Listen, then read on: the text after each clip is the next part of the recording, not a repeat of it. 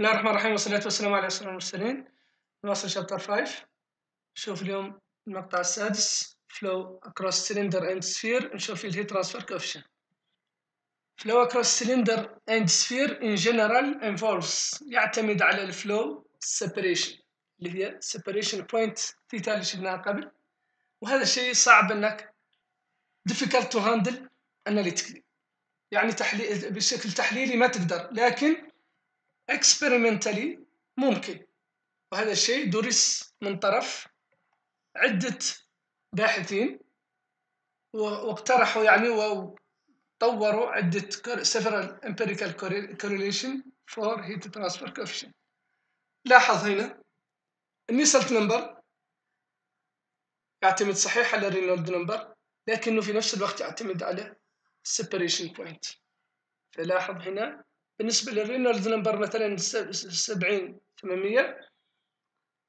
هذا لما كانت separation point zero كان له قيمة ولما كانت 160 كان له قيمة مختلفة. إذا يعتمد على separation point The average Nusselt number for cross flow over a cylinder. Churchill and Bernstein يقترح علينا بالنسبة للسلندر طبعا. هذه ال correlation ويقول إنها تبقى comprehensive لما يكون ال Prandtl وال Reynolds number لما تضرب في بعض يكونوا أكبر من 0.2 طب ال fluid properties evaluated عند أي نقطة عند أي temperature هل هو عند التي اس أم التي انفينيتي أم التي ال film temperature لا عند الفيلم تمبريتشر اللي هي T infinity plus T s على اثنين. ال average بينها أما بالنسبة لل sphere فال Whitaker يقترح علينا ال comprehensive correlation اللي هي هذه. وبيقول إنها تكون valid لما تكون ال Reynolds number أكبر من 3.5 و 80.00 وال Prandtl لما تكون أكبر من 0.7 واقل من 380 لكن لاحظ هنا في عندي ال mu s وعندي ال mu infinity وال Prandtl وهذا. اذا ال fluid properties كل شيء يخص ال fluid properties هذا ناخذ قيمته هنا عند إيش؟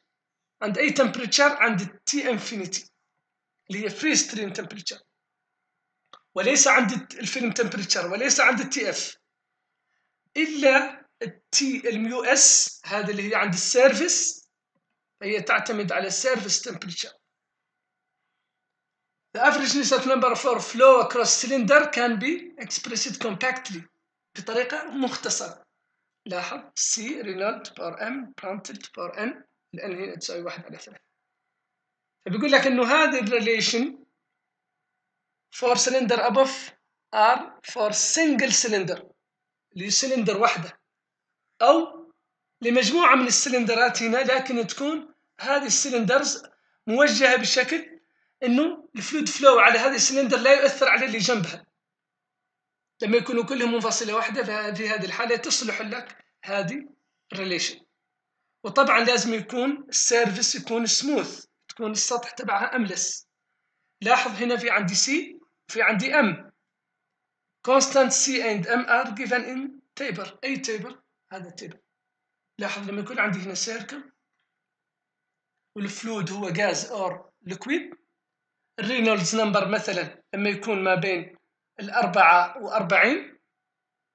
تكون ال C تساوي كم؟ تكون ال C هذه هي قيمتها وال m هذه قيمتها.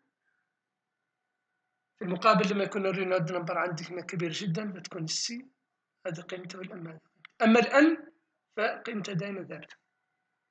بالنسبة لل square نتكلم هنا عن الجاز بس. ال C وال m.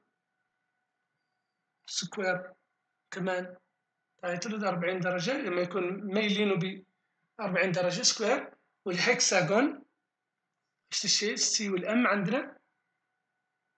هكساجون لما يكون هكساجون ميله ب 45 نتكلم دائما عن الغاز أو ال vertical plate الغاز يكون عندك ال C وال m.